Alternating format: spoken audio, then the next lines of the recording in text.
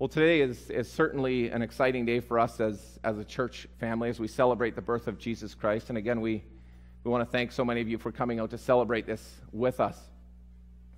But the one thing that was pointed out this morning is that we're not just celebrating the birth of Jesus Christ, but we're also celebrating everything that the birth of Jesus Christ represents. And so that means that we're celebrating the fact that the Son of God would come to earth, that he would be conceived by the Holy Spirit, born of the Virgin Mary, that he would take upon himself human flesh, that he would be born as a child. We celebrate the fact that through this baby, that the way of salvation is opened up to so, so many. And when we think about a world where there's so much brokenness, where we experience so much tragedy, and we see so much hurt, and we feel grief in our own lives, and we see it in the lives of those around us, well, then the birth of Jesus Christ stands out for us as a, as a beacon of, of hope it stands there as something for us to hold on to, and it gives us a, a reason, we've said, to rejoice. But we, we recognize at the same time that not everybody in the world reacts to the birth of Jesus Christ the same way. We, we understand that, and one of the interesting things about the Christmas season is that you actually kind of see the different ways that people respond to Jesus. We have people who love the Christmas season, and I think you, you know these people that I'm talking about. They love everything about Christmas. They love the lights, they love the presents, they love the malls, they love the displays, they love everything about Christmas. But they deny the significance of the birth of Jesus Christ. And, and we have other people who, who, who love Christmas, but they really don't love Christ at all. We know people who, who are actually hostile to Jesus Christ. People who are very intentional about wanting to take anything that, that, that ties Christ to Christmas, they want to remove that. And then there are others, and I pray that there are many of those people here tonight for whom the only thing that matters about Christmas is Christ. People who could forego all the hype and all the presents and all the rest of it if they could just celebrate Jesus Christ. But I think the interesting thing that we discover in our passage today as we reflect on it is, is that these different reactions to the birth of Jesus Christ, these are reactions that have always happened. This is the way that people have responded differently to the news of Jesus ever since the birth of Jesus occurred. And so I want to look tonight kind of briefly at this passage so that we can hopefully all make it home. Um, we're going to look at this, and I want to point out just three things three different ways that people react to the birth of Jesus. And we're going to see that some people will seek him, that some people will deny him, and that some people will also be hostile to him. And the underlying question that I want to put before you tonight is where do you, where do you fall in that spectrum? And I want to ask you to prayerfully look at your hearts and ask yourself, what, what is your reaction to the birth of Jesus Christ, what we're celebrating today? Are you among those who, who seek him?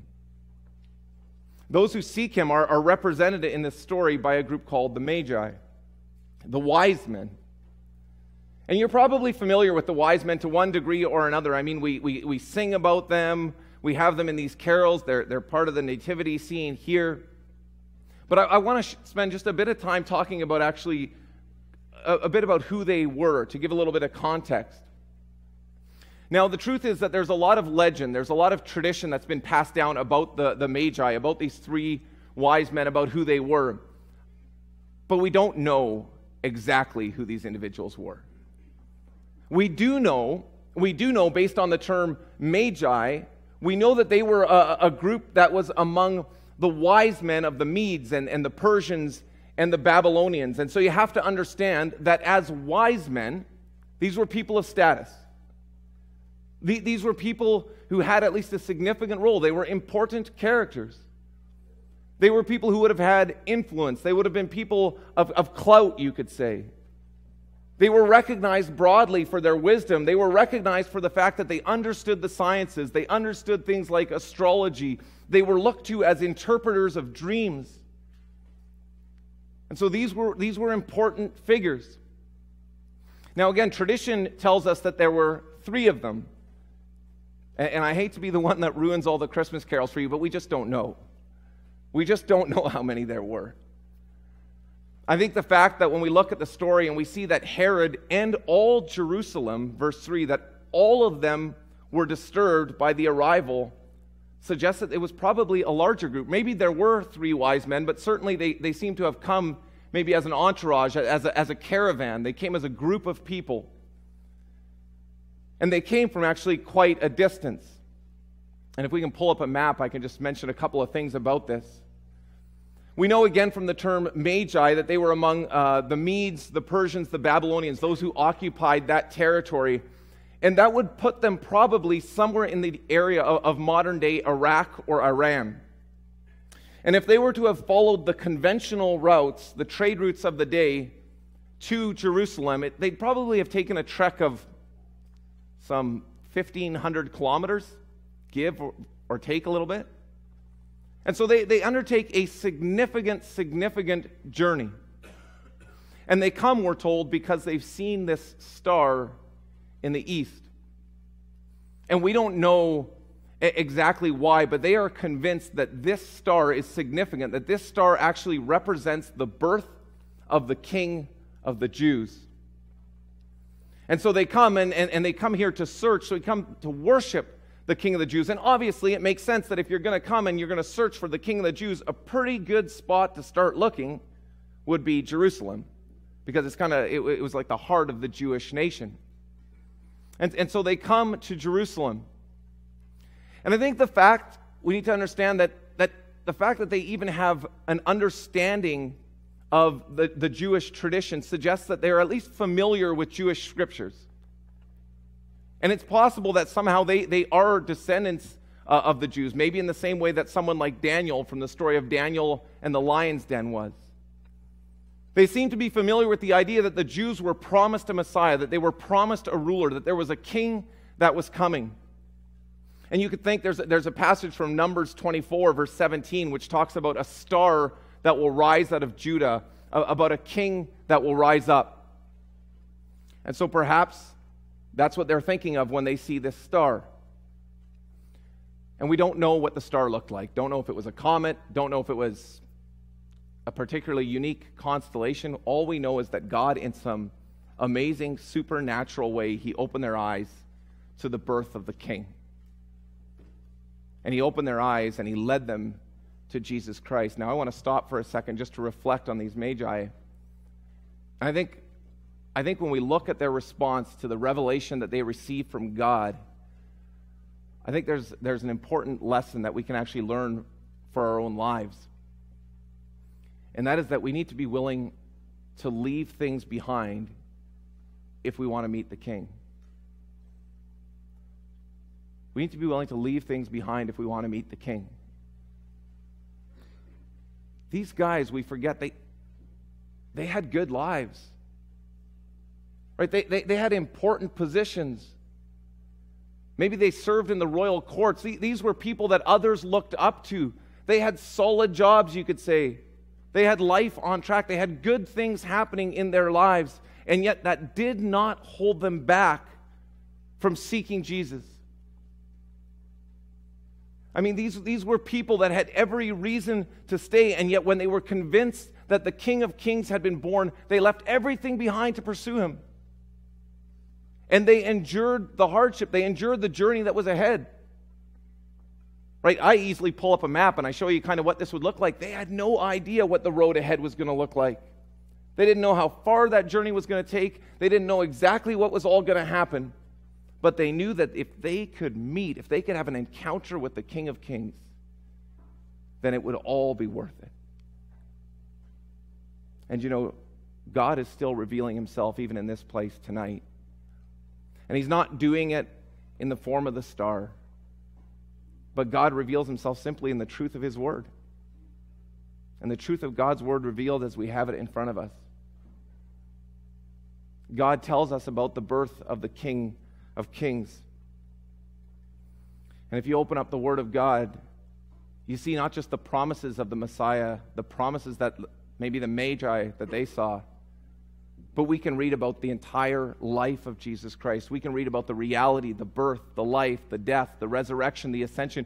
We can learn about who Jesus, the King of Kings, was, and we can learn about everything that he represents. right here as God has revealed in His Word. Now, I don't know where you're at tonight.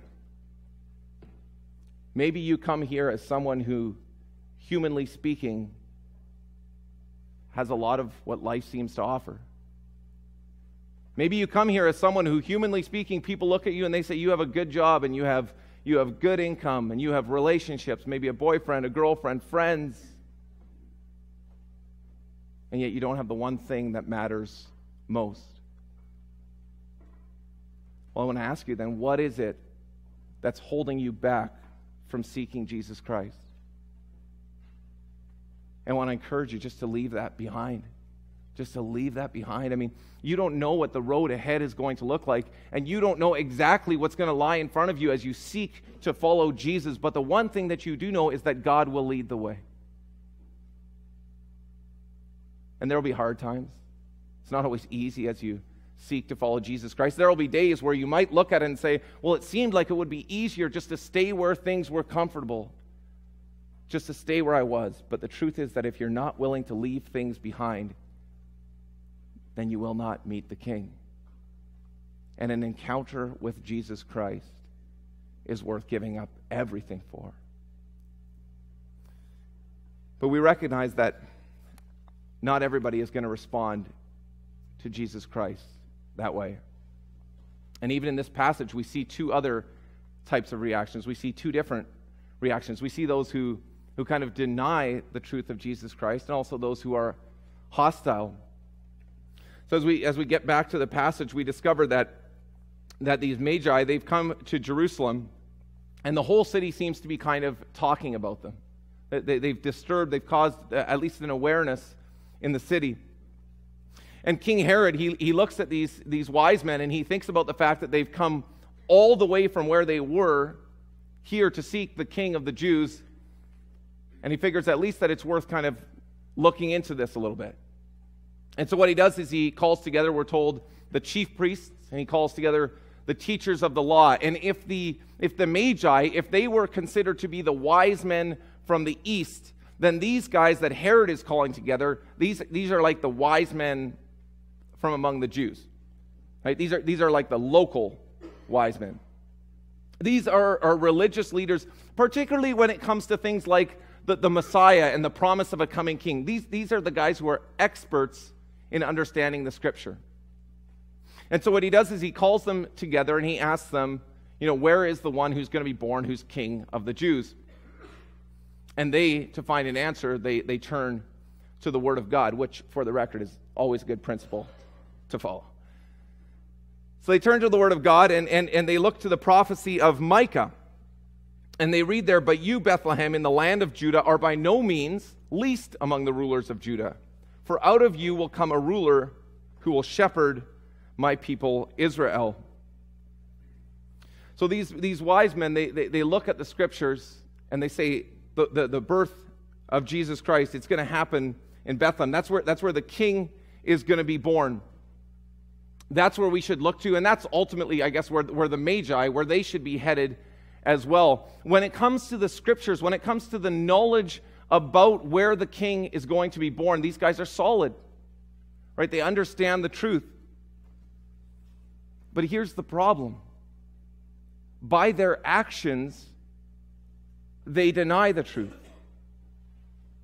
Right? They're solid on the scriptures. They knew the truth. They knew where the king was going to be born, but they didn't do anything with it.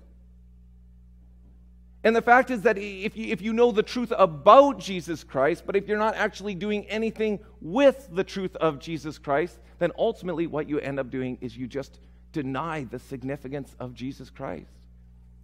You, you end up denying the significance of the King of Kings. And so you have these, these wise men who are there that come from the east, and you have to think about this. Here are these guys who have left everything behind in order to come all this way to find the king of the Jews. And you've got these Jewish wise men who should be the ones looking forward to the coming of this king. And they discover that he's going to be born in Bethlehem and they don't do anything with it. We don't get the impression that they say, let's pack our bags. Right? We don't get the impression that they say, hey, let's get our stuff together. They don't go to the Magi and say, hey, can we catch a ride? Can we?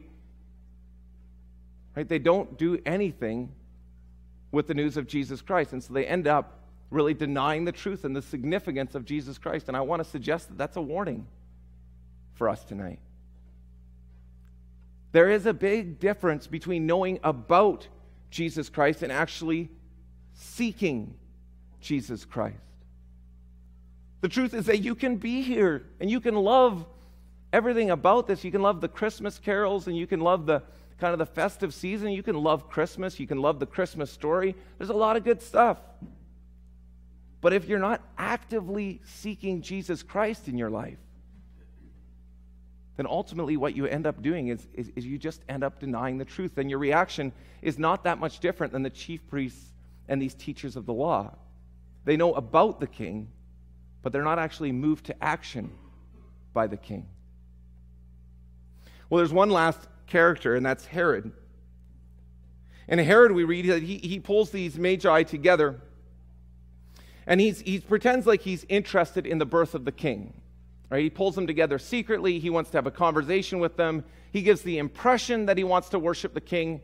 But if you know the larger story, you know that he's not at all interested in worshiping the king. In fact, Herod is hostile to the news of the king, and he's hostile to the news ultimately of Jesus.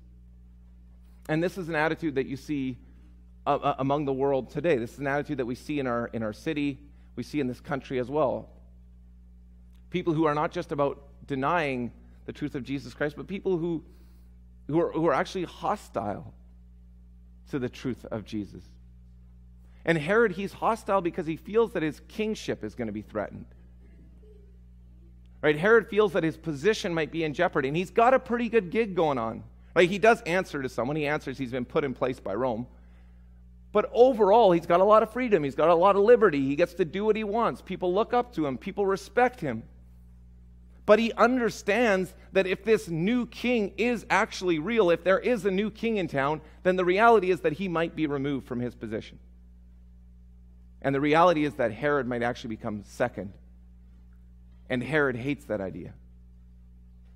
He hates the idea that he might have to answer to someone else. And I think that the reason many people today are hostile towards the birth of Jesus Christ and hostile towards the news of King Jesus is because of the fact that by implication it means that we will need to be removed from our thrones. And we, we as people, we like to do what we want and we like to call the shots and and we like the idea of kind of having a, a, sense of authority. But if Jesus Christ is who the Word of God reveals him to be, then, then he must be first. And we must be second. There's no alternative to that. If Jesus is who the Word of God claims him to be, then he must be first and we must be second. And most of you, I don't know if you're like me at all, we don't like being second. That's the truth. I mean, we fight against that, but we, we resist being second. We like to be in charge. And the Word of God is all about submitting ourselves to the birth and to the life of King Jesus. One of the great ironies is that sometimes those who are hostile don't realize that they're being hostile towards a king who wants to love them and who wants to show them compassion and who wants to show them grace and who wants to show them mercy. Jesus Christ as a king, he's all about loving his people more than himself. Jesus Christ as a king, he's all about putting his people first and putting himself second. The entire Christmas story is about Jesus Christ coming to earth and being born so that he could give his life for your life. The very character of Christ the King is all about the fact that he's not based on lies, but he's based on truth. And he's not based on ruthlessness and callousness and coldness, but he's about grace and compassion and mercy, even to those who are hostile to him and even to those who deny him. Jesus Christ is not someone who comes by pride, but he's someone who comes with humility. And I don't know about you, but that's the kind of king that, that we should want to serve. That's the kind of king that you want to lay your life before. And so, again, I want to ask you what is your reaction to the birth of Jesus? Jesus says in Matthew 7, He says, Ask and it will be given you, seek and you will find, knock and the door will be open to you. Our prayer for you as a church today is that you would seek and that you would find like the Magi. You know, the truth is that it doesn't matter how far apart you are from God today. It doesn't matter how far you are from God today. If you entrust yourself to Him and if you look to Him and if you follow where He is leading, He will lead you to Jesus Christ. And then you will find Jesus Christ and you will have the reaction that everybody has when they find Jesus Christ. And that is one of joy. They're overjoyed like the Magi. That is one of humility where you fall on your face and you worship when you recognize that there is someone who loves you enough to give his life for you. There is giving everything you have, giving your time and your talents and your energy. Just like the Magi do, giving their frankincense and their gold and their myrrh, offering everything up to Jesus Christ. And finally, there is, there is a change in attitude where you start to obey God rather than men. These wise men, they no longer look to Herod. They're not influenced by him and but what, by what he wants, but they're ultimately influenced by, by God and but what he wants. And so, our prayer today as we wrap up, our prayer is that you just would experience the joy of Jesus Christ, that you would experience the joy of Christmas, and that you would see Jesus Christ today for who he is. Let's pray together. Our gracious God and Heavenly Father, Lord, thank you for your Son, Jesus Christ. There's no greater gift that we could celebrate at this time of year Lord, you've given us everything that we need. We're blessed in so many ways. We have so many things that we don't need. They're, they're amazing things. We experience privileges, we experience good things. Or we, we often have more than we need. We have food on the table, we have friends that we can sometimes celebrate with. Lord, you treat us with such grace and with such kindness. But the thing that truly brings us joy at this time of year is Jesus Christ. Lord, something that, that brings such significance to our lives.